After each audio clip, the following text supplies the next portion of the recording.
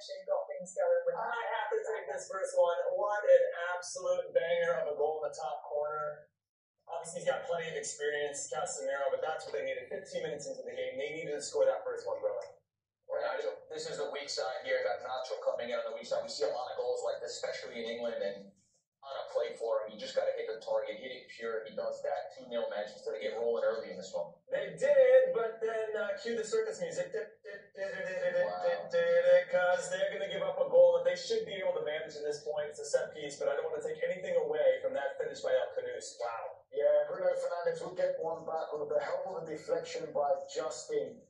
Just doesn't head the ball, attack the ball, take it on the face, but he doesn't, and uh, gets deflected to the goal. Uh, 39th minute, this one gets shoved across. It's Casemiro with the header. He kind of just bobbles around and it comes back to him. It's ball under remote control to Casemiro, and, and he slams it in uh, for 4 1. Not to be outdone, though. Right before halftime.